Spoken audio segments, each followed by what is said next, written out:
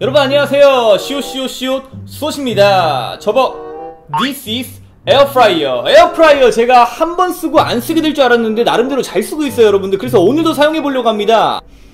자몽과 와 양파를 준비했습니다. 여러분 이 자몽과 양파를 에어프라이어에 넣습니다. 그리고 아주 오랫동안 튀깁니다. 어떻게 될까요? 뭐 어떻게 되긴 할 텐데 정답은 이 영상 안에 있습니다. 눈이 맵다. 맞다 원래는 여름이니까 애플 수박. 애매하게 저 에어프라이어에 안 들어가더래요. 먹었습니다. 반을 먹었습니다. 생각보다 맛이 없어요. Let's go 네 이놈 입을 열어라. 예이. 자몽 넣고요. 껍질째 넣도록 하겠습니다. 요즘에 뭐 껍질째 먹는 게 유행이더라고요. 입을 닫아라. 예이. 온도는 가장 세게. 200도. 최대로 돌리면은 30분이거든요. 한 10번을 하도록 하겠습니다. 5시간. 전기 조금만 써라. 여러분 이제 30분이 지났는데요. 와, 엄청 뜨거워요, 지금. 방안이 뜨거워. 뭐야? 여러분, 대박. 와. 자, 두 번. 두 번째.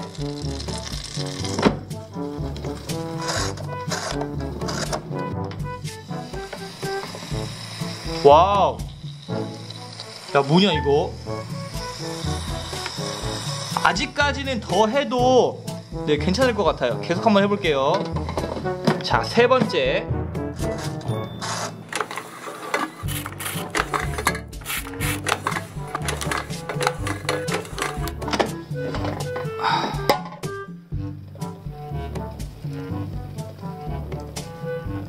자 이제 드디어 마지막 열 번째 가보도록 하겠습니다. 고고!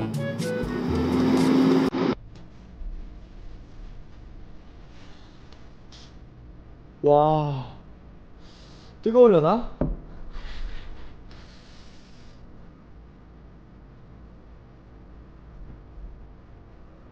아, 안 뜨거워, 안 뜨거워, 안 뜨거워, 안 뜨거워, 안 뜨거워요. 안 뜨겁고, 안 뜨겁고. 제가 막판에 잠이 들어가지고 다 식었습니다. 그래도 정확히 10시간 이 아니고 5시간, 300분, 아, 제정신이 아니야. 지금 자다 일어나가지고. 정확히 3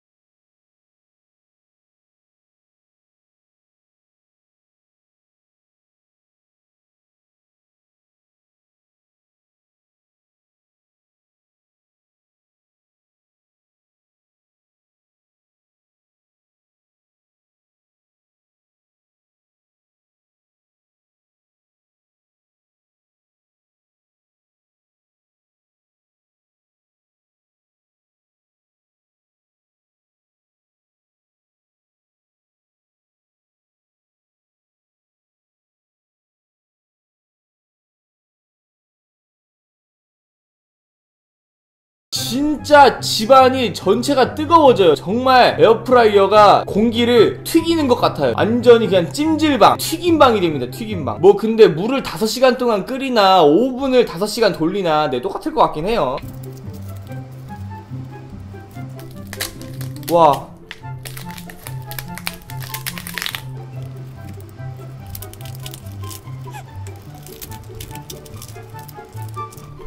와. 어 여러분 안에는 안에는 안 탔어. 아, 탄 건가? 와. 여러분 안에는 안 탄 안 탄 거 안 탄 거 같아요. 이거 양파즙 맛인데 양파즙? 어 근데 좀 어 근데 좀 약간 거부감이 드는 식감. 어 근데 양파즙 맛이에요 야. 여러분 요렇게 껍데기는 진짜 완전히 그냥 부셔져요. 바삭바삭하게 됐고 안에는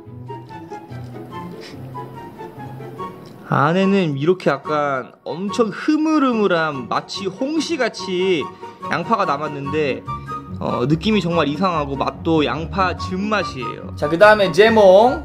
이랬던 자몽이 이렇게 이랬던 게 이렇게 됐습니다. 진짜 엄청나게 까매요, 여러분들. 네, 양파도 그랬지만은 너무 까매.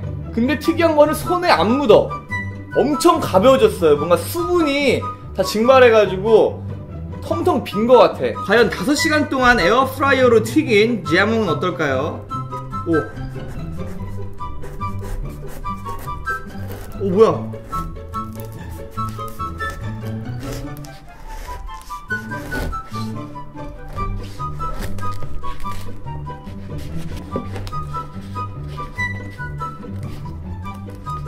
와우! It's real 제몽! 고구마. 군 고구마인데 자몽 냄새가 나는 그런 냄새. 어떻게 먹을 순 없을 것 같아요, 여러분들. 인정하시죠? 초고농축 자몽의 쓴맛 그러고 초 초탄맛 탐스럽고 상큼한 제몽이 이렇게 여기서 이렇게 됐습니다 비교가 확연하게 되죠 어찌 보면은 건조기 같잖아요 에어프라이어가. 건조기는 온도가 낮아. 먹을 수 있게 건조가 되는데 저거는 온도가 너무 높아. 먹을 수 없게 태우면서 건조가 되는 거예요 여러분들. 온도를 낮추고서 오랫동안 했으면은 아마 건조된 자몽이 되지 않았을까? 탄! 타서 타고 건조된 자몽과 양파가 됐습니다. 어 정화가 되면 이 많이 정화가 돼 네, 여러분 오늘은 이렇게 에어프라이어로 자몽과 양파를 아주 오랫동안 5시간 동안 튀겨보았는데요. 이 에어프라이어의 색깔만큼 까매졌어요. 무슨 흑마늘? 아시죠? 흑마늘처럼 흑양파, 흑자몽이 돼버렸는데 어, 먹을 수는 없습니다. 예상은 했어요. 그리고 또 한 가지 이제 제가 걱정을 했던 게 이게 폭발하진 않을까? 이게 뭔가 문제를 일으키지 않을까 했는데 뭐 고장이 안 난 것 같아요. 어, 안 되네. 안 꼽았으니까요. 그런데 확실한 거 한 가지는 전기세. 정말 전기세 네, 기대가 되고요. 좀 무서워지네요. 그럼 다음 영상에서 더욱더 재밌고 좋은 모습으로 찾아뵙도록 하겠습니다. 그럼 안녕! 안녕!